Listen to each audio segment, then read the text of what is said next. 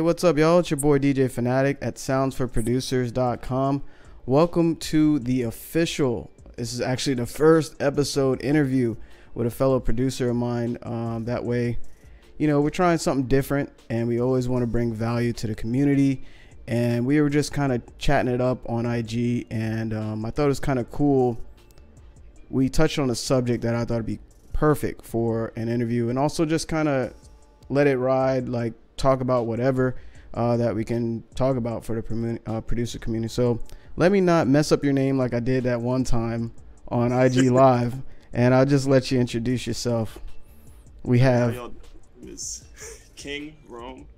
Uh, if you're wondering why I threw the X's in there, I spell it K X N G R X M E. I'd love to tell you there's a deep story behind it, but it's a one word answer, and that's Google. you know, I forgot about that. I think you told me that at the meetup, right? Yep, yep, yep. Like, and, and I, you know, branding is something I take very seriously, and I love it, and I help other people with it, and working on it for myself. So I could spin up a story about how the the X is actually the hourglass, and that's my logo, but nah, I just did it because of Google. uh, so basically, you Googled a name for uh to be a producer, right? Say again. You Googled your producer name, basically. Yes, well, because the, the, now the name King Rome actually has a story behind it, but the spelling of it was just Google. So Rome is just it took me. I used to go by a different name back in the day because I'm a rapper first, then producer. That's how I got into producing because I got tired of paying for beats because I couldn't afford them. So I was like, let me just learn how to make them myself. Totally um, forgot about that, man. Yeah. Yeah, I'm, I I was going by the super creative name of Young Jay, and I hated it. so I was like, I gotta come up with a name that represents me and who I am. It took me three years to come up, and I went through some bad ones. oh yeah, yeah. Young yeah. Jay doesn't really have much pizzazz. no, uh, I do, I do like King Rome. That's dope, man. I, I like that. Yeah, so, um, so Rome, and and and pardon me for being a cliche, but you know, Rome wasn't built in a day, and and I'm naturally a late bloomer in life, so you know, it was my story literally. So that's where I came up with that. And the king just comes from, you know, manifesting your own greatness coming from within. Everybody's got a king within them. And I'm hoping that using my platform to help everybody find that within themselves. I'm also a huge Sacramento Kings fan, so that helps too. Hey, okay. Nice, man. Great story. And I think so it's so important. Oh, my bad. Go ahead yeah, that's how I came up with the name. I just wanted to make sure that it, it defined who I was. Um, so you know, Rome wasn't built in a day; it was defined over time. That's my my mantra. It's not so much of a slogan as it is my life. So yeah, that's that's where that came from. Dope, dope. Yeah, stick with that name. Feeling it, man. Uh, just a background for the viewers uh, that watch this. Uh, we actually met. Um, some of y'all know that I'm a BeatStars ambassador, and we met I don't know which meetup, but we met a few meetups back. Uh, was it last year? I think. It was yes, you were you were leading it. Um, it was supposed to be a guest there, but it fell through, so you were rocking it solo. Did right, right. I remember that. Yeah. Yeah, yeah, yeah. I remember. Okay, yeah, yeah. That's when we met. That one. Um, cool, cool. Yeah, I really like the story of, of your your producer name because I know I always like to ask producers how they got it, and being that, you know, you, you kind of it's an educated name in a way. You know, it's not just something you made up like childish Gambino. No, no offense, but oh, you know the story. you, you want to say some on camera so so we can get yeah, some laughs in the to. comments? I'm gonna keep in the bag because I might keep him as a uh, as gotcha. alter ego, considering I'm a Gemini. But uh, like uh, Gemini Rose was one of them. Okay. Uh, My dog's name is Rose. Go ahead. Uh, and then there was uh, currently anonymous. anonymous? No, currently anonymous. currently anonymous. yeah. And then was, oh, here's here's one you'll get a laugh at. Uh, uh, I was trying to like make a play on you know being the goat, yeah. So it's like I can't make a play on Michael Jordan. That's too boring. So I, I was like, what about Muhammad Ali? So I was like, Casanova Clay. oh my god. I was like, oh, I was, I, was, I, I, it, was, I was going through a phase in college, and I was really yeah. feeling myself. and I was like, yeah, that's gonna be the name. And then and then at one point I was calling myself Johnny Greatness, and I was like, Johnny yeah. Greatness. Oh yeah, so, man. Yeah, I was like, it was also during that same phase of me just really feeling myself. I wasn't very, uh, I wasn't a very likable character at that time. hey man, we all have our journey, you know. It's all good. Um, okay, before I forget, I was talking about selling my studio monitors. For anybody that's watching this in the Maryland, DC, Virginia, I said that backwards, but anyway, area. It doesn't matter which way I say it, but DMV, um, or no, I'm not shipping nothing. You gotta. anyway, I was talking about selling my monitors, and you might miss out because King Rome might pick it up. But we are talking about the monitors that he's rocking now which are some M Audio uh, monitors. No offense to any company on the video, we keeping this real legit. Um, but uh, what's the story behind these uh, M Audio? Yeah, so I was telling him that like I don't have the greatest monitors in the world, and it's nothing against M Audio. I actually love their products. I just happen to have the low end version of their monitors. And the funny story is, uh, this was back in college at the time. I was with my homie uh, DJ Ack Wright, uh, and we were going out to uh, Guitar Center, to help him get his studio set up because he was, you know, he was like, yeah, let me, I want to get in this, I want to do this. He, he already had an MPC, he had some, uh, he had a mic, but we had to go get the rest of the studio set up. So I was like, yeah, I'll go with you. I, you know, I, I've been in the game a little bit, I can help you out. So we get there to Guitar Center, we shopping around, and we get up to the register, and I'm like, yeah, those right there, those are the ones I have. Yeah, you should get those. And and the guy at the register said, "Oh, those are the ones you have." I was like, "Yeah, man." I was so excited. He said, "I'm so sorry." Oh man, see. so not only did I feel def- deflated, but it also made me look like a complete uh, neophyte. Like, uh, like I didn't know anything like what I was talking about. It, it instantly like cut out any credibility I might have. Humbled me on the spot. but hey, you like the price though, right? Yeah. Hey, hey, and, and, and I don't know if y'all been paying attention, but remember when we were talking about the names that I had in college, I was going through a little phase where I was feeling myself. Well, this was during that time. So uh, okay. Pie. right, I got you. But see, so, it could have sounded better, you know, if if he didn't say anything. You know what I mean? they could like these things are dope. see how like somebody's information could shape your experience. You see what yes. I'm saying? Yeah. Yes. Yes. Yes. Uh, but it also taught me like don't know everything, bro. Like, and and it, it, it shaped the way I approach things now. And I've always been kind of like a don't speak unless you know what you're talking about kind of guy. I just thought I knew what I was talking about. So like, get a little more educated before you start. Yeah, yeah, exactly. Yeah, that's a good um actually that's a good result because you got something good out of it. Like it humbled you and like, yo, I don't know what I'm doing. this guy works here, so he probably knows all this crap in and out. And like, uh, yeah, yeah, I, man, don't worry, you're not the only one because like so much stuff I bought over the years, like I always thought I knew it's basically failing to success. Like I would buy anything I thought was dope, but I didn't know that. Oh, it sucks with. I bought these headphones. Were like, oh man, I don't want to say the company. Yeah, I can't do that. Anyway, these headphones are like four hundred dollars, and I was so excited they finally got in the headphone market. I got them, and they were mainly made for like mastering, but there was no low frequencies, no bass. Four hundred dollar headphones. I had to send them back. I was like, no, I, I can't even make a beat like this. I can't do it. Four hundred bucks.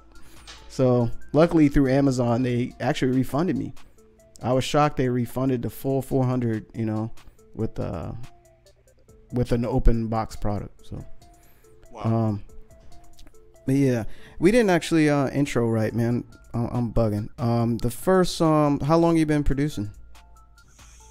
Producing like the first time I touched FL, I was in high school. But like, if we talking seriously, uh, I I say about 2012, 2012. So going on eight years. This is my eighth year.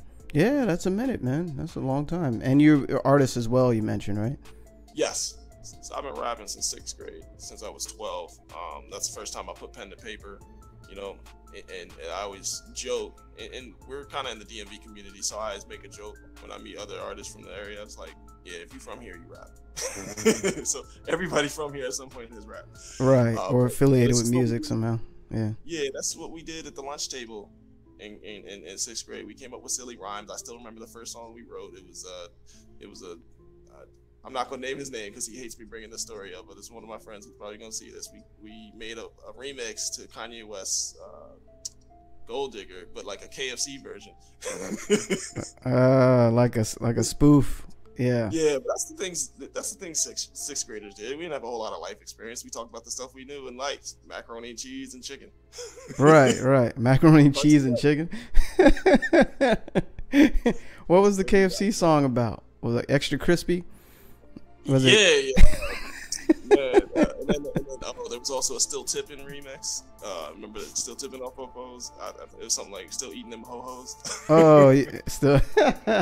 Oh wow, you guys are into food. what was that? Ho hos, do they even exist anymore? That's a throwback right there. Yeah, they're um I think Hostess. They went out of business. They went bankrupt and somebody bought them back. So they're trying to reintroduce it. I, I think. That song back. yeah, yeah. Um, who does all the spoof beats? Um, he did the Thanksgiving one. Man, my bad. I'm, I'm doing this on camera. What's his name? Um, he, calls himself the remix god. He did like that beans, greens, tomatoes, and. Oh, I gotta check that out. Um, yeah, I've heard it, but I, I don't think I ever saw the original source video. You know how stuff gets shared around. Right, right. Yeah, he goes hard with that, and that's his niche. He's actually on Producer Grind. He did an interview on there oh. as well. Um, yeah, I like that channel. Suede, I think remix god Suede. My bad for forgetting, bro. Um, hey, but, some homework. I'm gonna go check it out. Yeah, yeah. What do you think about producers doing like a niche thing like that? Just finding like the most outrageous video and just making a beat around it. What's your thoughts about that? I, f- I feel like if, if that's your lane, that's dope. Um, it, I feel like we all, it, it helps to have one. Um, it, it, can help you stand out in the market. Um, you know, having gone to school for PR and marketing, that's something that I tend to focus on, and it's always easy to tell other people to do it, even though I struggle with it myself. Mm-hmm. So finding where I'm lane, um, you said it, and you're not the first person, and and it happens a lot. A lot of people tell me my music sounds like, you know, gaming music, and and when I first started making beats, it, it used to offend me because it's like, nah, I'm trying to make hits, bro. But like now that I'm seasoned in the game, it's like, well, that makes a lot of sense. What do I spend a lot of my time doing? Gaming. So a lot hmm. of that is seeped into my subconscious. So a lot of my songs sound like that. And so like maybe that's a lane for me eventually. But um, having a lane and, and, and knowing that, and if you can own it, why not be a king in that domain? Yeah, yeah, definitely, man. Um, if you're gonna touch all of them, you better be nice at all of them. Right, right, and it's it's kind of spreading yourself thin too if you try to try too many things, you know. Um, you mentioned some being both producer and artist, sometimes trying to do both gets in the way of the other. And I'm, I'm, I'm still working on finding that balance. Yeah, yeah, I'm sure, man, because it's it's totally two different hats, two different ways of creativity. Um, you mentioned something. Um, have you read? Uh, shout out to homie Curtiss King, man. Have you read his book? Uh, no, I have not. But um, you recommend it? Yeah, definitely recommend it. Uh, what's the title? I got a few that I've been reading more on the business? Is his more on the creative side or more on the business side? Because I know he's he's real big in both.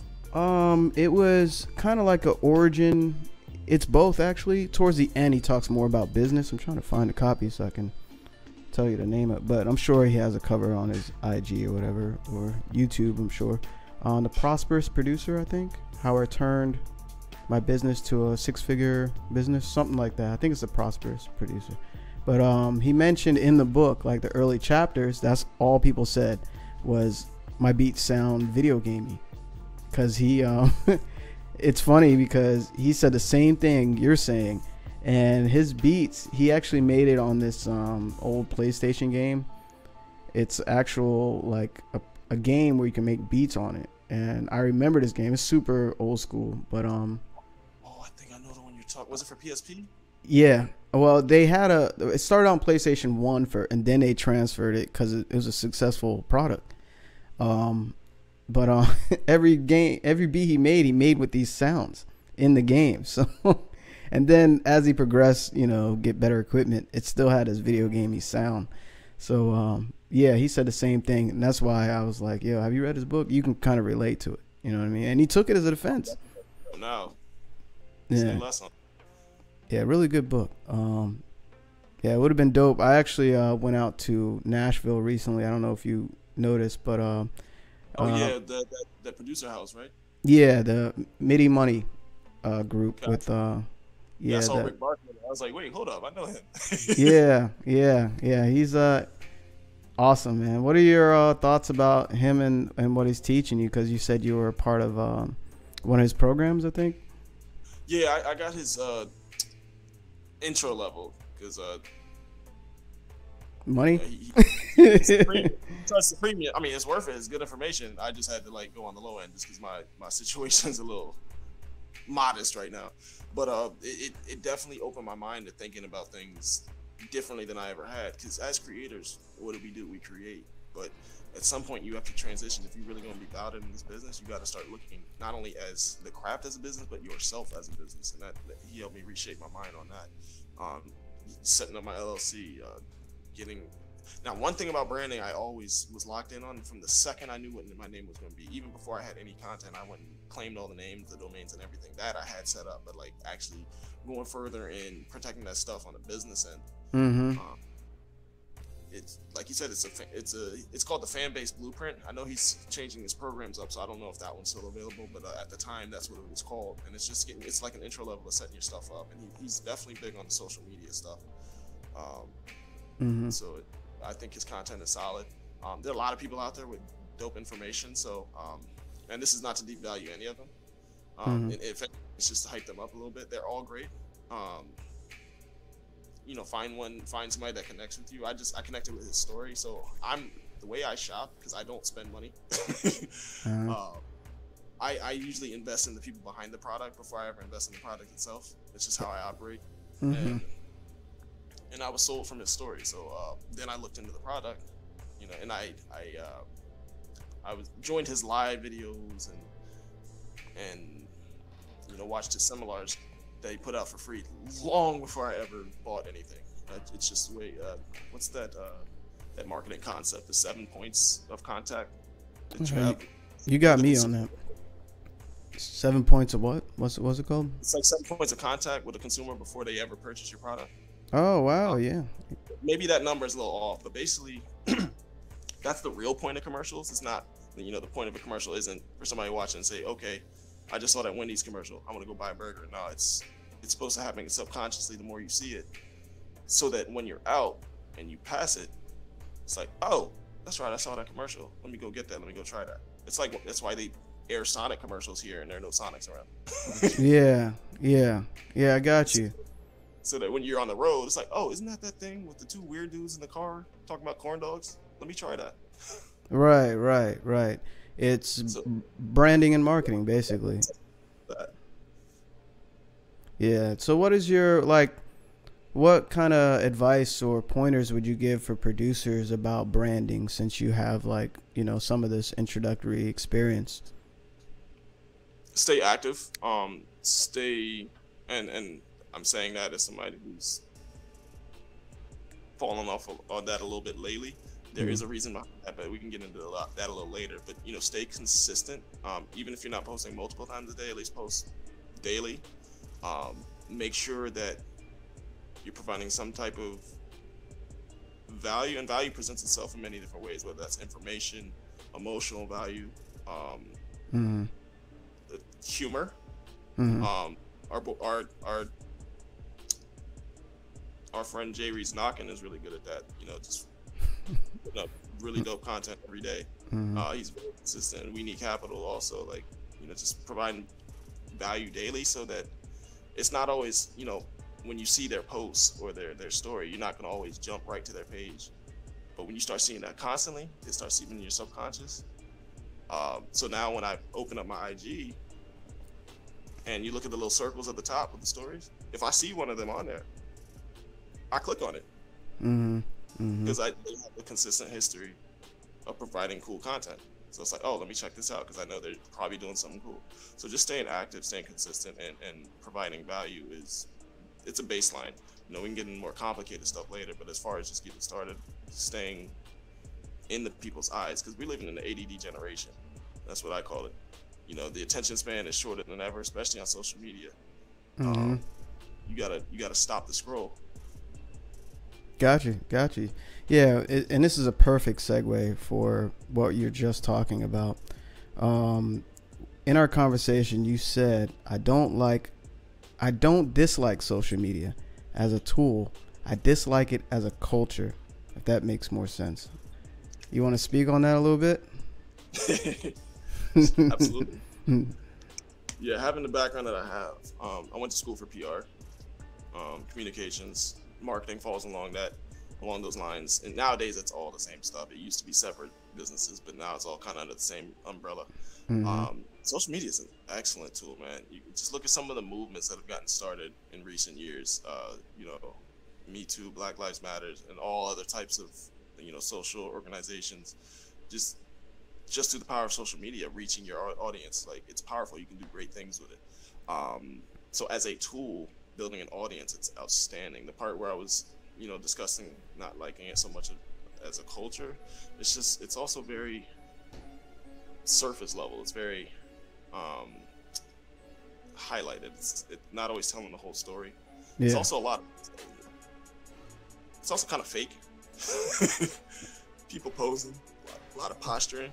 Mm-hmm. Um, and and I understand it to a point. Like, of course, I want to get my best angles and I want to put my worst shots up, but at the same time, it's like there's a lot of posturing on social media, and and you can a lot of times I can see right through it, mm-hmm. and and it's it being that I can see through it. Um, I wouldn't say I'm immune because I fall victim to the same stuff too. Like, oh man, why don't I have what that person has? But you know, I snap out of it. But not everybody has that, that mental fortitude or the life experience to know that this isn't everybody's story and that, you know, that picture on the beach was taken eight months ago instead of yesterday. This person isn't really making all that money. Like, actually, that can actually affect people, man. And, and yeah. it's not great for, for your, your morale. It's also not great for your time because, like, I can tell you from experience just sitting on Instagram, uh, even when I don't plan to, I can sit there for an hour. It's like, damn, did I just lose a whole hour of productivity? Yeah, and, yeah. And that's where the, the, the divide for me is, is, is tough because I understand that I need it as a tool, as a marketing tool to get on here and really work it. Because that's the thing about Instagram, you got to work it. You can't just put something up and expect people to love it. Yeah. It's actually, it, it's social networking. You know, you take off the social part of it, you take away the platform, it's still networking at the end of the day, and networking is work. That's why it's called networking. yeah, yeah, yeah, yeah.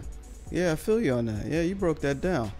Yeah, I mean, I, I can't tell you, huh? Continue your thought. I, I feel like you're going somewhere. oh yeah, I can't tell you how many things I posted, and I put so much work into it. Like for instance, I did a BeatStars remix contest. Shout out to Ella Ren. Uh, thank you for the love for that beat. I put like this elaborate video I edited of me making the beat. Basically, the beat is playing throughout, right?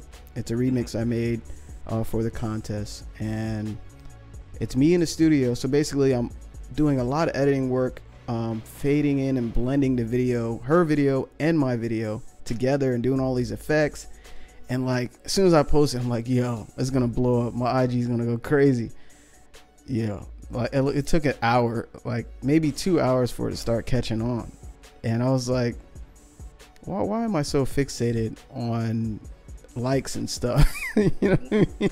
it's it's more I don't know. Maybe I mean at, at, first you're so pressed to get these likes and and comments, but at the same time, like how does that? I know it's like accolades. That feels good, but how does that really? What does that mean to you to not like focus too much on that type of result? Because there's different layers of results. There's likes, comments, and then there's somebody hitting you up saying, "I love this. Can you make more music for me?" Because she did hit me up and say like, "This is beautiful. Thank you. I'm feeling it." And I really that was the stamp. I was like, "Yeah, I don't I don't even care about the contest, being that she liked it, you know, because I was making it for her, and I put a lot of work into it." But what are your thoughts about um, something along those lines?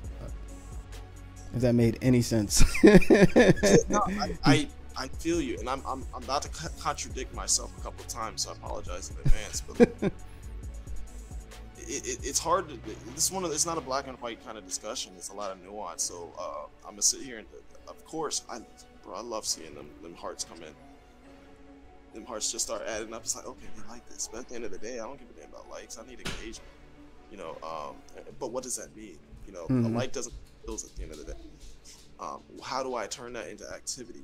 And, and that's what I'm. Um, that's the that's the place where I'm kind of stuck right now, and, and you know, I, I don't want to position myself as like this superb expert because I'm learning from experience too. We in this together. We learn at the same time. Um, you know, I, I have been posting. So in the month of January, I, I was pretty consistent. I, I think I missed maybe the entire month where I was posting original content every day. Every post in the month of January I put up was a, a you know a design that I created. Uh, I've been I've been learning graphic design too, teaching. Oh, myself. dope. And every post from the month of January that I put up was one of my own designs, and I was just watching to see you know what does well, what do they like, um, do they like inspiration, do they like bravado. Uh, my best performing post was me uh, was a picture of me like screaming and uh, I made it like a because I'm a big Godzilla fan. I love the MonsterVerse um, and, and, kaiju and all that stuff. I'm a big nerd at the end of the day. So it was like I basically put myself in the Godzilla position, and, and it was a lyric from one of my songs. Oops, I just dropped an Easter egg uh, that said Godzilla couldn't body me, and it's yeah. like stomping yeah. through DC, um, Godzilla style, and yeah. that one formed the best out of all of them. I was like, geez, I'm out here trying to inspire y'all, but y'all, at the end of the day, it's rap. Y'all like that. Y'all like that bravado. Yeah, yeah. So, but now I have to figure out. Okay, I see what they like. How do I turn that into then consuming more of my content? Well, it would help if I had some, wouldn't it? Um, I'll get to that story in a little bit, but uh, like I, why I told you that I haven't been consistent lately. It's a bit of a frustrating story, but um, you know, at the end of the day, it's not about just like if you're in it just for likes, cool, go after them likes. But like I'm in it to turn this into a business. I want people coming back to my artistry you know, streaming my songs, coming out to my concerts when I eventually have them. So um, it's a daily war trying to figure out uh, how to use this outstanding platform that we have. Here's another thing we gotta, uh, and this is I'm trying to remember which person that I follow was saying this. It's a bunch of them, and and we as artists and producers, mainly producers, because we're selling a, a tangible product, need to. Actually, this might have been at the BeatStars meetup. Was something I yeah. said? Because um, I get I get to going sometimes. yeah, we have to own our audience, man. You know, Instagram and Facebook and Twitter are great, but at the end of the day, we need to be using those as commercials for our websites and, and our our unique um, platforms ourselves. Because at the end of the day, you're using these platforms; they own that content. Exactly. So we have to find a way to yeah use them because they are great tools. But at the end of the day, they're an ends to a mean, not the end itself.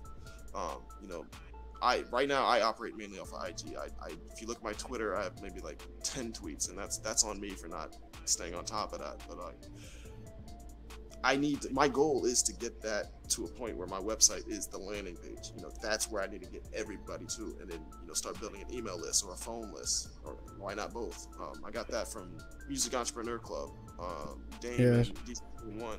Yeah, shout out to my peoples. Yeah. Mm-hmm. Yeah. Oh, you were there too. That's right. mm-hmm. Yeah, yeah. Shout out to Dame and Pain One. Yeah. Yeah, that was uh, one of the biggest things we talked about, just owning your audience and making sure that you're sending them somewhere where you control it. Um, so that's that's the real Instagram game, the real social media game is getting them back to our our own. I cannot believe this word is blanking on me. It'll hit me later in the conversation, but uh, native, our own native audience. Got you. Ryan Leslie talked about it too. How he turned, what was it, like 175 sales? Right. 175,000 sales into like a multi-million dollar success story. I was like, yeah, like that. Way.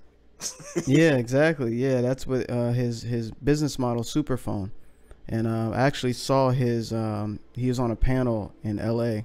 when I went to the ASCAP Expo out there. Mm. Shout out to ASCAP. Thank you for my royalty payments um, and all that get, you do. Get really. on your PROs, y'all, if you're not. Yeah, definitely. Yeah, yeah. Right now, you're watching this video. Right after it, make sure you get on your PROs and you know register your stuff properly and you don't want to be missing out on money that you can get with your music straight up so um but you said so much but i want to backtrack way back okay. um um barker yes y'all probably don't know who he is uh richard barker is the former um, manager of taylor swift and he has an awesome story. I met him in person at the MIDI Money House. Uh, shout out to Gabe from Legion Beats. Shout out to uh, Anno Domini from Anno Domini Nation. Oh, really appreciate so- you guys. Huh? Anno Domini, he was there. Yeah, yeah, he was there. Shout out to my boy Busy from Busy Works Beats. He was there as well. And shout out to Dylan from uh, Producer Grind. It was nice meeting y'all in person, man. It was crazy. Yeah, it, it was lit, man. Uh, they, they plan on doing next year, so you should come. You know what I'm saying? Oh, I so, definitely be at that. yeah, if you don't get a link, I'll send you a link. Yeah. Alright. So, and I'm happy to say I'm actually working a part, working with them this year with their team. So I said it on camera. So you start seeing your boy doing new things. That's why. So shout out, shouts out to them, man. Um, man, I dropped a bomb on here. I wasn't even gonna say all that, but it's all, it's all Hey, that's why you need to be tuned in to Sounds for Producers, man. Yeah, yeah, there you go. There you go. You get to see the inside scoop of what's working for producers and myself and also, you know, just some some game, man. And what else did I say that I was going to jump back to? Um so I shouted out everybody I wanted to regarding that. Oh, what do you think of the um 80/20 rule? I heard that I don't know if I have this right, but um 80% you as a person that you're posting and 20% business. Like do you have you ever heard of that? Uh, you're breaking news to me. oh Um, okay. I, have- uh, I was like, okay, how's he about to make football work with producing? Because that's where my mind went when I heard 80 oh 80 20 yeah.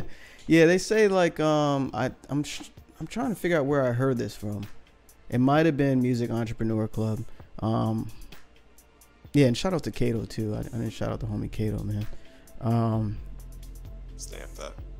what was um I think it was the Music Entrepreneur Club where they were saying like don't always just post beats because it people see Uh. that and get kind of turned off. But um but I know some people that are very successful all they do is post beats and then they have a separate IG just for like personal family stuff.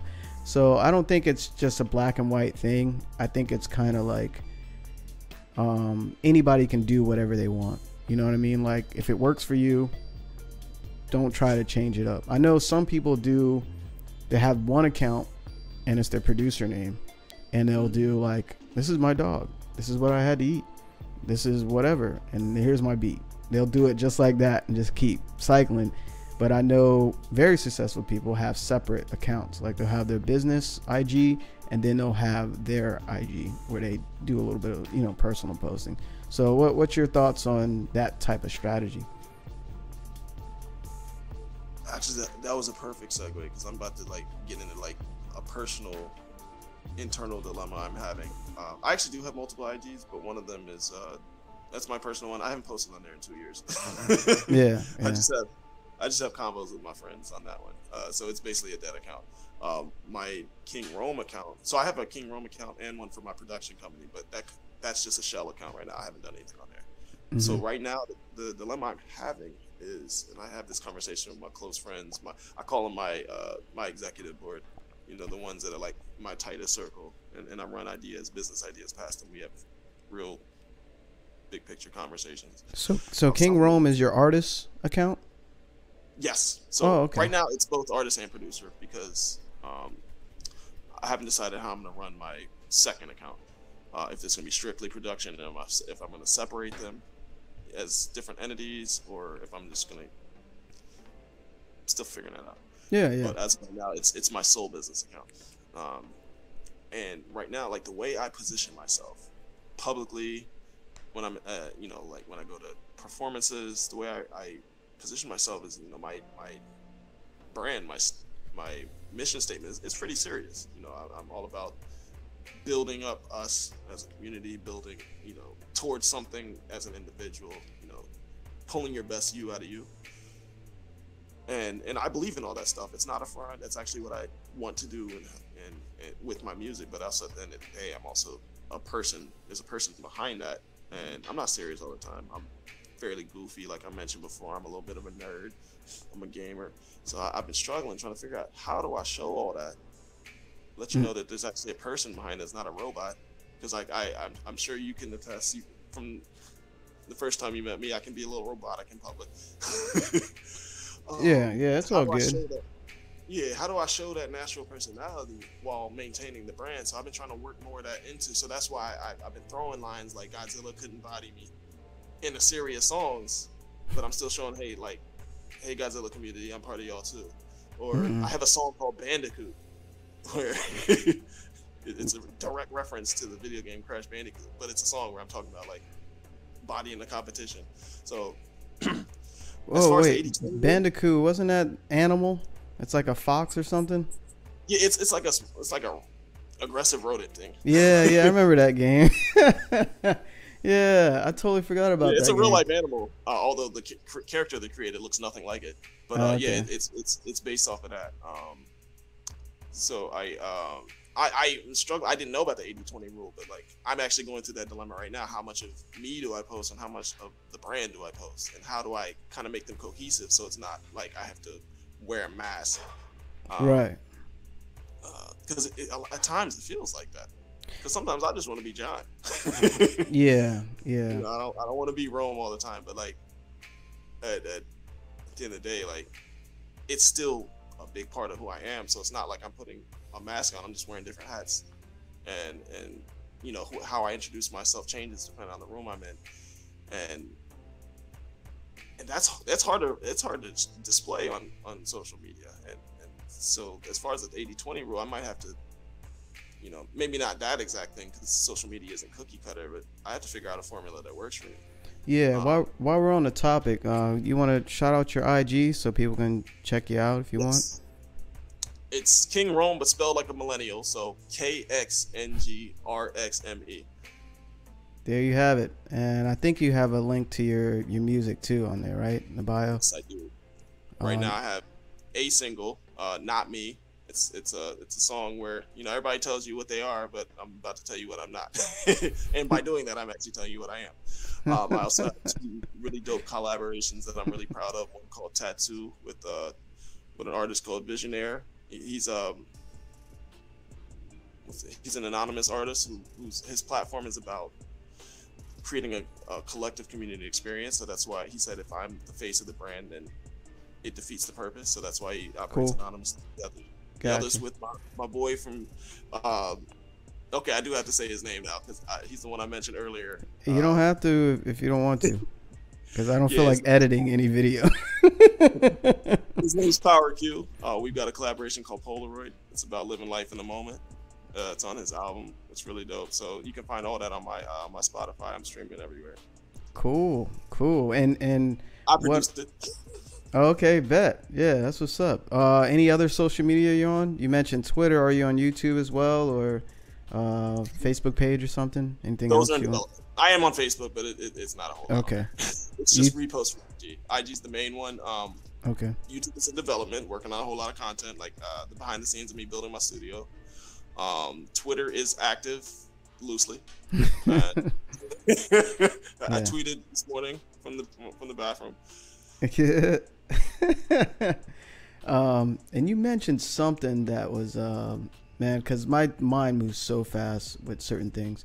Um, producer.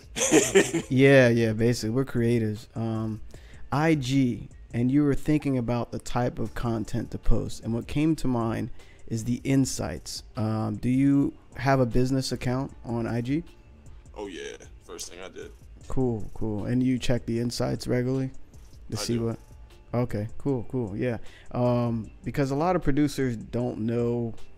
Well, I won't say a lot, but most of them that hit me up or whatever never heard of a business uh, IG account. So basically, um, yeah, I'll let you. You want to speak on the difference between the regular version and the business account? And it's free. It is free.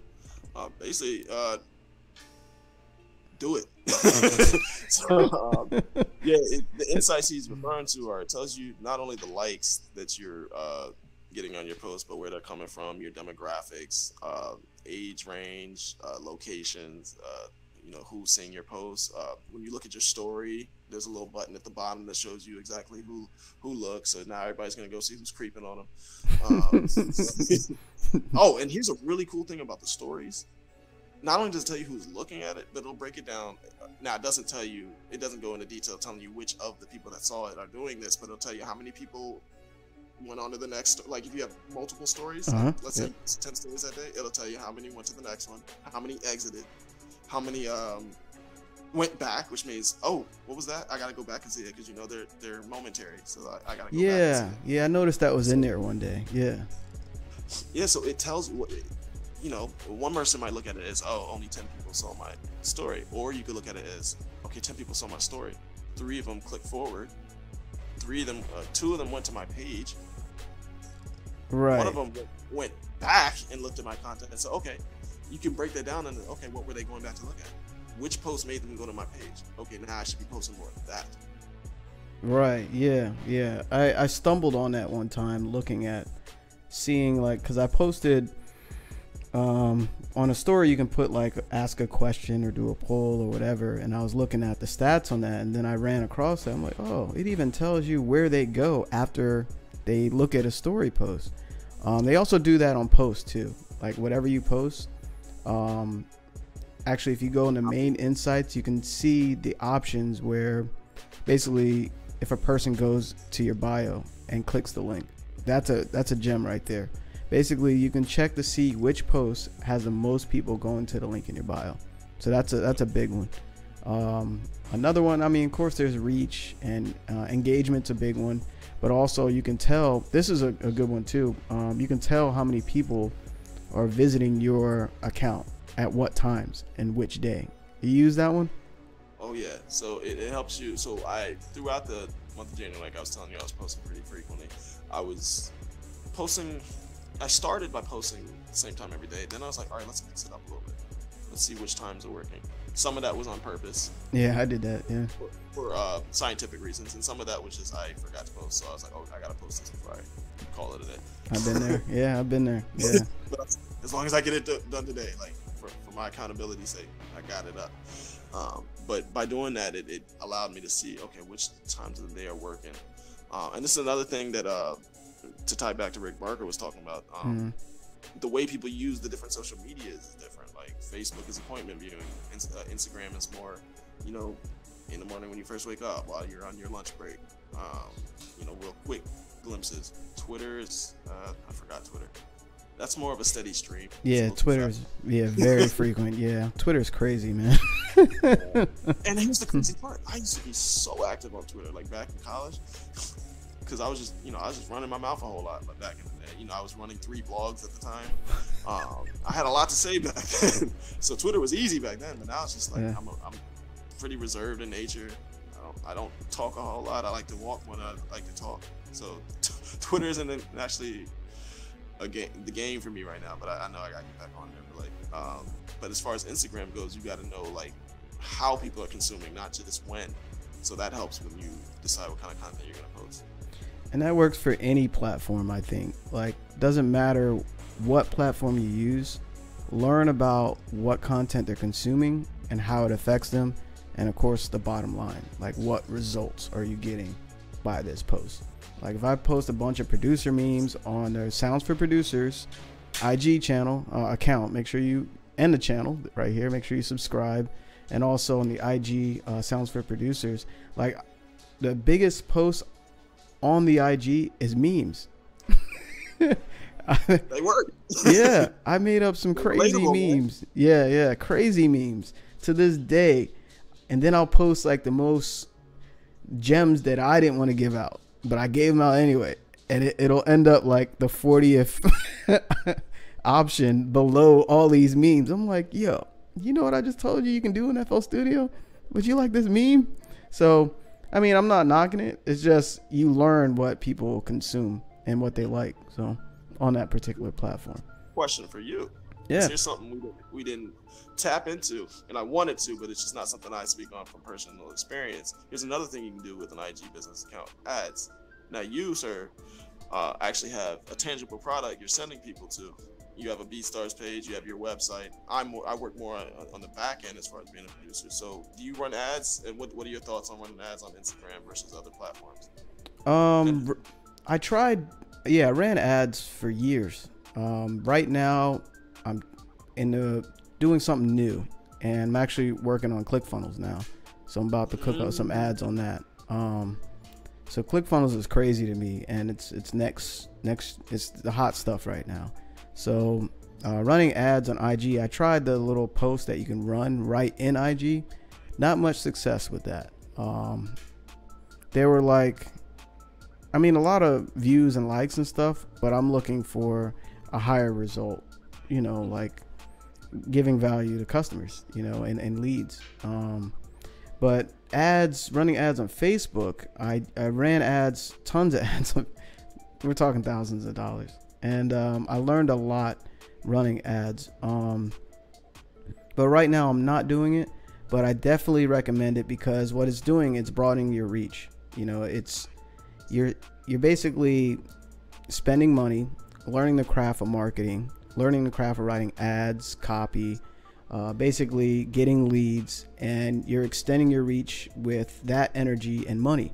So what I can do, I can just hit up every artist on IG and spend eight hours a day. You know, that's you know the money energy exchange. You know what I mean? So you stay act, staying active, posting and whatnot, and also doing ads is is is the business, man. So literally it's the business man but yeah i definitely run a lot of ads man it's it's a craft and i i'm really jumping into the marketing side because i don't know like before you even see me on beatstar like a lot of people i was in the dark you know what i mean so now that i'm stepping out more in front of camera doing tons of like daily content and having strategies like all i was doing was making beats i didn't have any business strategies you know what i'm saying so now that I know about ads, I, I you know have really great mentors that taught me about this whole other side. It's vital for producers because you got to be able to have it's basically capital. You know, you got to have at least. Uh, I heard the rule five dollars a day to start with is cool um, for ads uh, starting out, and that way you have data and you get to see how people respond to certain things, and you can switch up ads and just see what you know. You're, you're testing the waters and when you start seeing things work, you can start putting more money in and, and stuff like that. But um, definitely have capital as a business owner. I mean, you're an artist, you're a producer, you're a business owner, you know, and, and you need results. Likes don't pay the bills. you know what I mean? And by the way, there's some loot kits in the description. hey, tangible product, man. Yeah, man, we got a new one coming out too. Um, I'm really excited. Uh, yeah, some new products I, coming. Add some more sounds to the uh, to the arsenal. I've been um, I've been using Cymatics real heavy. Cause yeah, shout out to Cymatics. Yeah. Yeah, their stuff is a one. Uh, but you know, I got to diversify the palette a little bit. yeah, yeah, yeah. I mean, there's there's abundance everywhere, you know, and I gotta say this almost in every video. Like producers and creatives, people in general tend to feel like I can get some nuggets at McDonald's, but I don't know about that Whopper at Burger King. You see what I'm saying? Like they, you can get whatever you want from anywhere, as long as you're happy with it. Sausage. Right. Exactly. Exactly. You and, can. And, and, on that note, sorry, I had to preach a little bit. Make sure yeah. you sausage. Stop all that copy and paste um, that's, that's what yeah, I know. Um, yeah. Speaking of that, there's tons of producers that I basically I have a video on this where I flip pretty much all the loops in our in our lineup right now at Sounds for Producers. Um, I flip pretty much anything, MIDI data, whatever, and I show you different creative ways that producers can run with this stuff.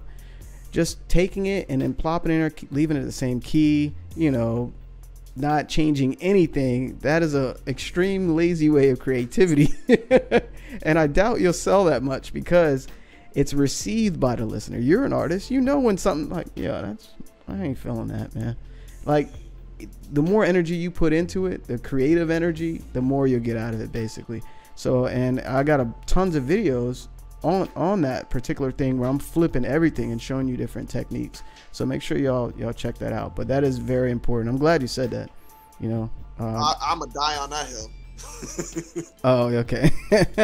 I ain't gonna. we'll stop there so you won't bash every. and I don't think we said one. I'm not talking about that, but uh, yeah, yeah. I, I, I, put in a lot of time into this. Yeah. So about cutter mess. Yeah, I, I won't let you uh, go go out like that in the video. So, um, there's something else. Oh, T Pain said, um, anything viral lasts for like three days. After three days, no one cares. What do you think about that? He's Is there some truth to that? there's some truth. I, I don't know if the number is correct. I'm not going to debate him on that um, because it's you know he's probably put a lot of T Pain doesn't seem like the type that would talk without knowing what he's talking about. So I don't know about the three days thing, but what he's saying basically, you can put any number on it, but basically what he's saying is, you know, fads are momentary.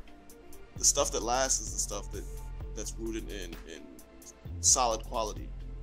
Um, you know, over you know flash in the pan momentary like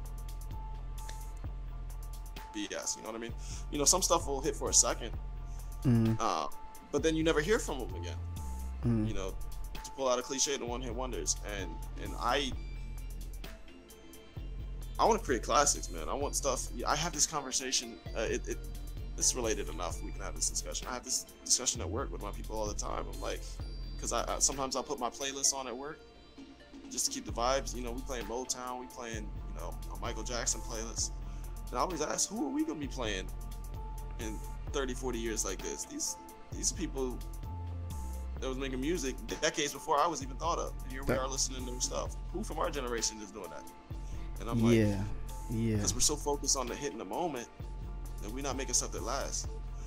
Um, and and the list we came up, you know, we there are people doing stuff. I'm not gonna say the whole generation isn't making classes. You know, mm, some stuff will age better than others, but it's like I was having a hard time putting names out there. I was like- yeah. and everybody yeah. I was naming was people that's been around for a minute. They're not new artists. Right, right. Yeah, don't get me talking because you know I'm I'm older than I look, so I know exactly what you mean. so that's kind of I, I feel like in, in, in a I know I stretched that, but I feel like that's kind of what he's talking about in that same way. So like, yeah, if virality is your game, you just got to be willing to. You got to be fluid. You got to be okay. This is hot now. Let me hop on it. But I got to figure out what's gonna be next and hop on it before everybody else does. And a lot of Hmm. people can make a lot of money in the virality game. Um, guy you were mentioning before that does the super remixes. yeah, yeah. That's what I just thought tap into that, and and that's fine if that's your business model. I'm not gonna speak down on it, but you just got, you got to be flexible if that's your game. You Right. gotta, and you got to be uh, intuitive and know what's coming around the bend before everybody else gets to it. Because you know, if, if like you said, if it, if virally lasts three days and you you coming in on the third day, like you Right. lost, bro. Right. You lost. That wave is gone. Here's a new wave. Yeah. They yeah. already on the next thing, and you just catching on. Yeah, man. Yeah, I was thinking um you touched on something that I was going to ask you about. See, I had like four questions lined up, man. Actually, what do you think about being a producer and balancing work life? Cuz I'm dealing with that right now and I'm like in a transition, you know, like of leaving that steady paycheck. benefits and I'm a what? father. So I oh my gosh, uh, it's for the longest.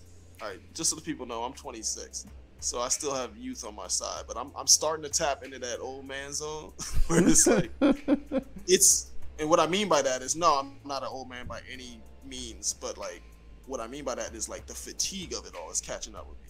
Whereas Mm-hmm. I used to be able to go work a full shift and come home and then sit up and make beats for another eight hours, then sleep two, three, four hours and get up like in the next day and it's like nothing happened. But now Mhm. it's like I come home from work, I get home eight thirty, I gotta cook. Now it's nine fifteen. I sit down to make a beat. I'm falling asleep in the studio by by midnight. It's like Yeah, what did I yeah. really just do? I'm not falling asleep on purpose. right, right, Body is tired. right. Yeah, I trust Um, me. Many so- nights I've fallen asleep. it, it's catching up to me and where I used to just be able to go for hours. It's like now I got to tighten up my routine now because it's like my time is a lot more limited. I'm also in a lot of other ventures. In addition to being an artist and producer, I'm, I'm tapping other, I have a business team outside of this that we're working on some other stuff that's not even related to music. Um, so my time is getting more and more finite.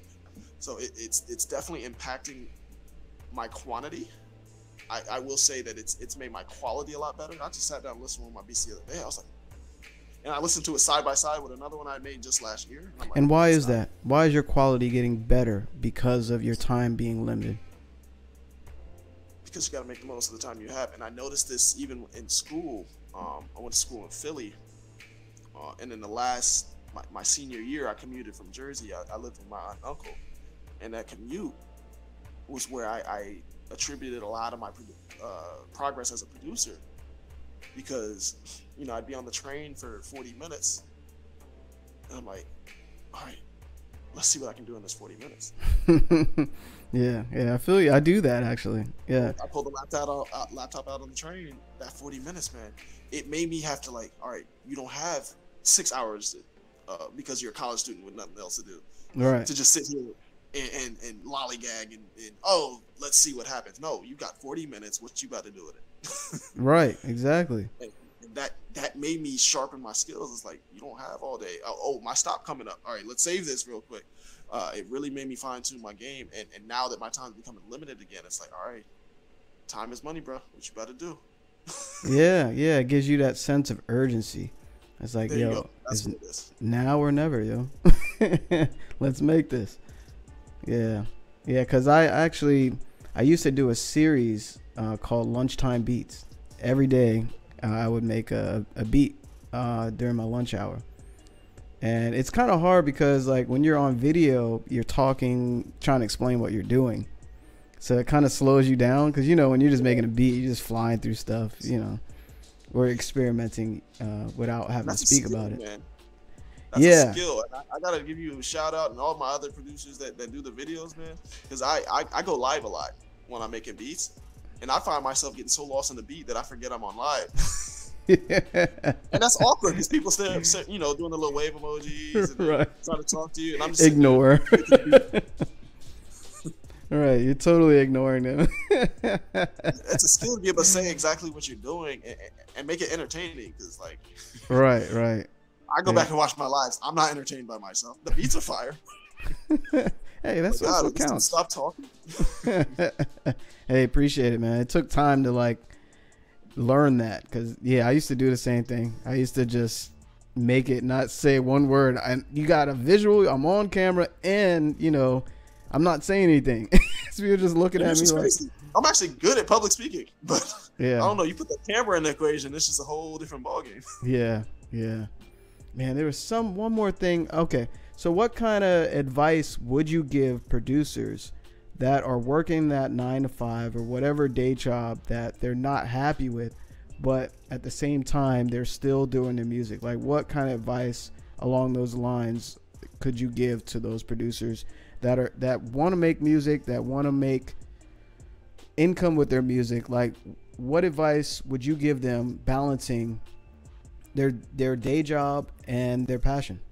I know it's a big question, but you know that's a big question, and and I'm glad you asked that because it'll I, I know that I'm speaking to the camera and I'm speaking to a lot of producers that will be watching this, but I'm also speaking to myself. And and in that I have to say, act with intent. You know, I can't tell you how many countless times I've sat down, I open up FL Studio, say let's make a beat. Nah, man. You got to go into it with like I need to make this type of beat. It's gonna have this, you know, even something as simple as I need to make something with this key in this time signature at this BPM. Like just go into it with some kind of intention because it'll give you what was that you said a sense of urgency. Because mm-hmm. uh, we've all been there where we sit down, open up a blank project, and it's just like, what am I about to do? Now go into it with a with some intention, especially as your time gets more and more limited.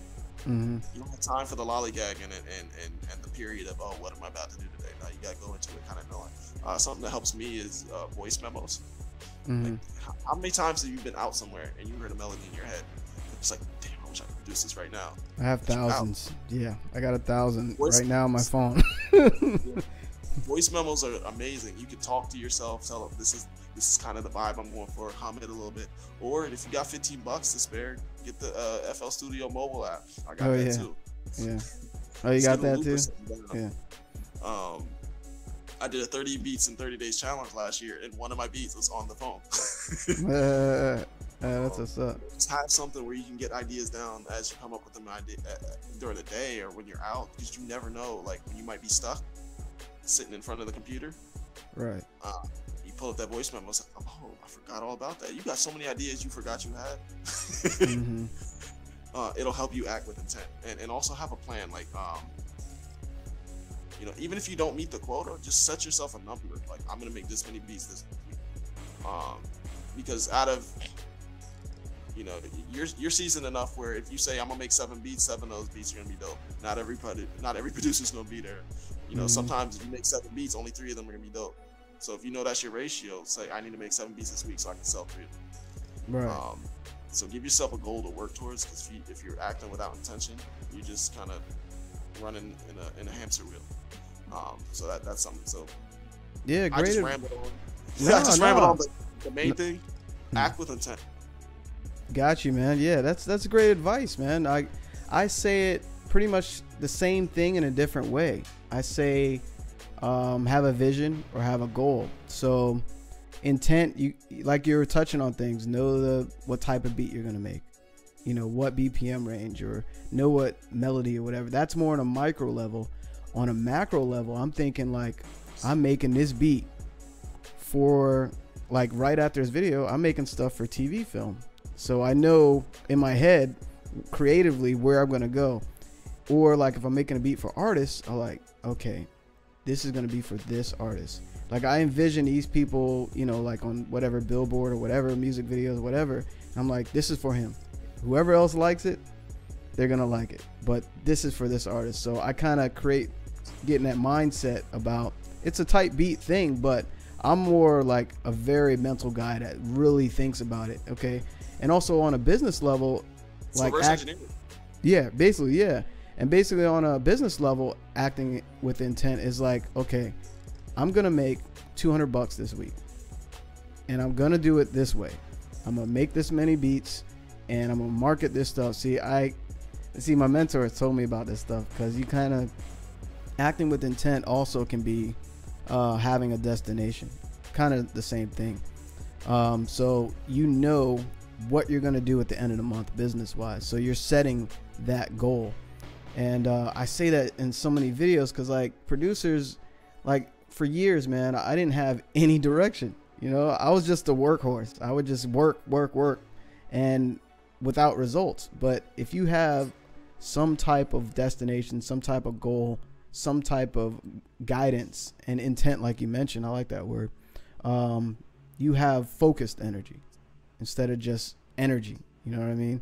So, yeah, yeah. You touched you touched on a, something that I'm very passionate about, and I always say in videos because I'm like, without any type of goal, man, it's it's like. Remember, um, do you ever watch the show The Office?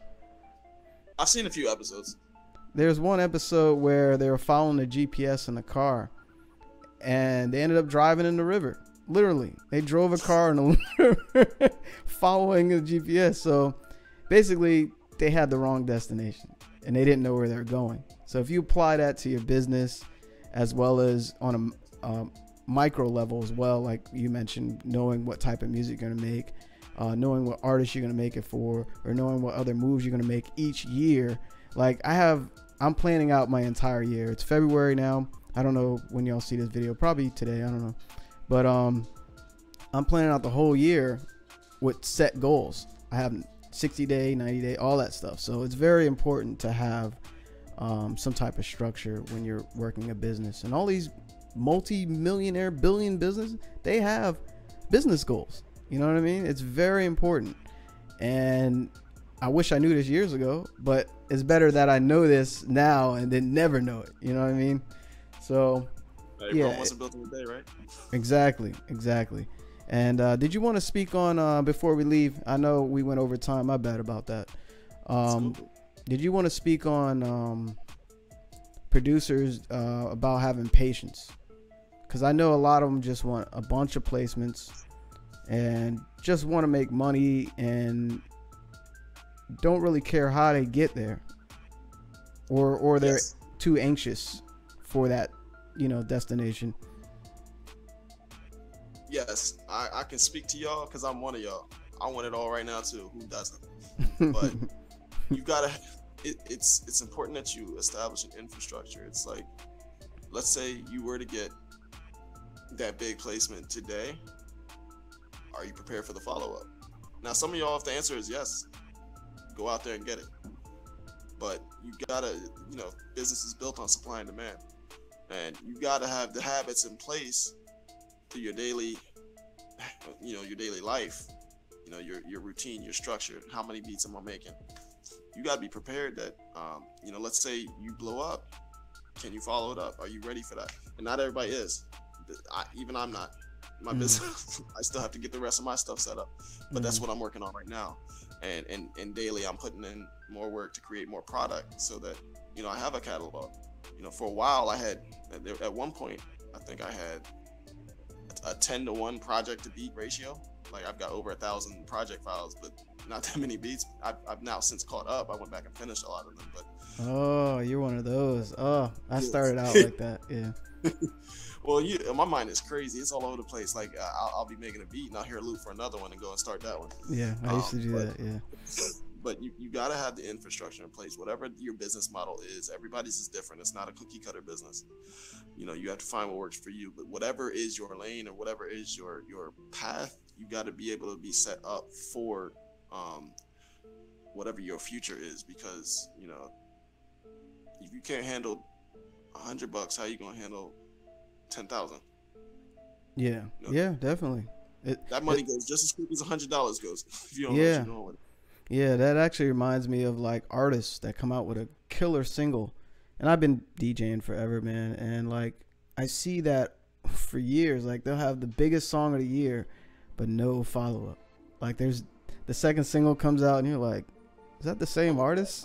that was trash, man. How did the label release that?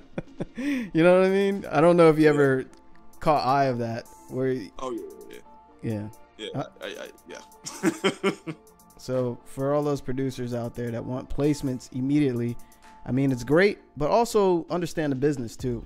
Because if you're just signing away and you made the whole beat and some big producer, well, I mean you gotta have to think about it because it's whether you want the income or you want your name out there. You know what I mean? And try to get money on the back end.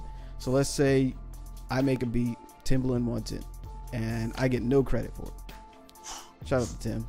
Um, but I'm in his circle now, and I'm making 10 more beats for him, and it's going to his artist. So you kind of have to leverage, you know, certain things as a Helps to know what you're looking for too. Exactly, exactly, and that's what we meant by intent, and also like having a goal.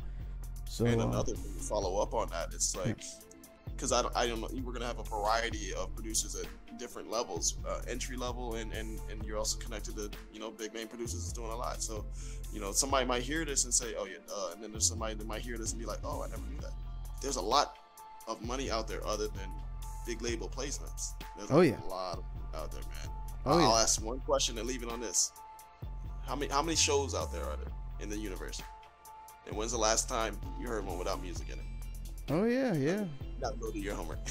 oh yeah, definitely, yeah. And and how many are still new ones? You know, there's always new shows. Netflix, all those exclusives.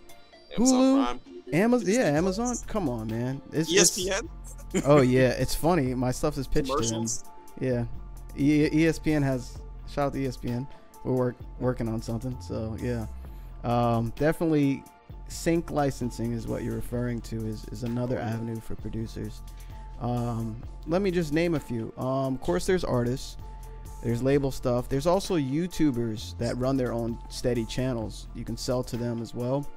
Um, also, either even like local companies. I know this uh, Eastern Motors. Uh, you ever heard of them? Eastern Motors. Yeah, they have like online ads and they use beats in them. And I was like, listen, I was like, yo, that's a new ad and a new beat. So, like local businesses use music. So if you can lock that in, you know, that's another avenue. And of course, online stuff. So diversification with your craft is vital. Um, I'm, that's just a few I'm gonna drop on. Did I miss I'm sure I missed some, but did you want to share any? But that's because there's so much out there. Yeah, yeah, exactly. And of course, you know, you have different ways to reach everyone, but you also have to put in effort, like be uncomfortable. Like I made cold calls, I sent cold emails to people. I mean, you got to, you know, put yourself out there because nobody's gonna hear you. Network, man. Network. Yeah, exactly. Uh, so to close, did you want to say anything to the community? Um, one last statement, you know, that you want to say to the Sounds for Producers community. It's pretty small right now, but I have a good feeling, you know, people are catching on, especially after this interview. And thanks for, you know, uh, the interview, by the way. Of course, thank you for having me. Uh, thank you for the opportunity to speak out, maybe help some people, let you know that you're not alone in this game. Um, you know, Sir.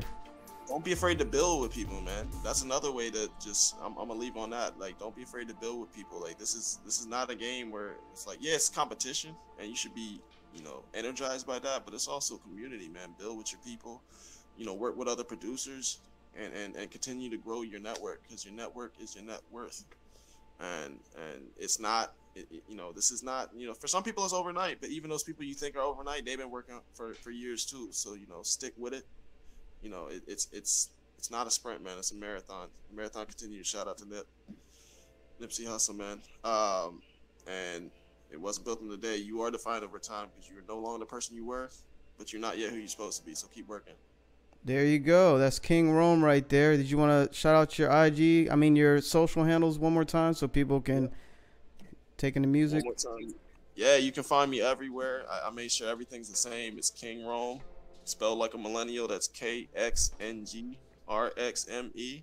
And for all y'all looking for the story for why I spelled it that way, Google. yeah, I'm gonna stop the recording again. Oh, before I forget, uh, make sure y'all guys and gals. Shout out to the female producers out there. I know y'all still exist. I got to show love to yeah, all Lost producers. Mind official, I see you. Huh? Lost mine official. She's dope. Okay, there you go. Uh, make sure y'all um, hit the sub button, click the bell as well, so you're alerted to more new videos. Maybe we'll do another interview. Um, also, uh, give it a thumbs up if you got anything out of this video. If you you know enjoyed the video, if you laughed at something we said, or you got some type of value from it make sure you hit the sub button because it got more, more, more, more content, more value, and it's all for the community. And I'm glad that you know we're doing this because it's like it's more than just loops. You know what I mean? It's more than just sounds and just what DAW you use. We touched on a lot of different topics, and we could talk another hour. I know y'all probably bored by now, but we'll, we'll get you at another time. So yeah, Make sure you hit the sub button and thank you, man. Really appreciate you doing this first official interview video for the channel, man. Really appreciate man, it. I'm excited. awesome, man. I'll probably post it right away. I don't have to edit anything. I don't think we curse. Well, if we curse, it's all good. So I'll just. Like I said, yes. yeah, it's all good, man. Yeah, I'll make it work.